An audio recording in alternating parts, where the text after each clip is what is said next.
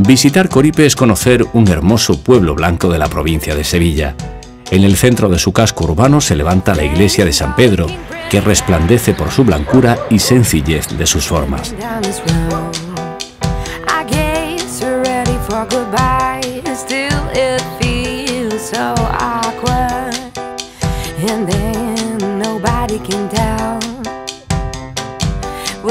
Otra propuesta de alojamiento de la ruta de la Vía Verde la encontramos en esta hacienda situada en la carretera que une Coripe con Montellano. Un lugar cuidado al detalle y en el que da la bienvenida a este bonito patio de estilo andaluz.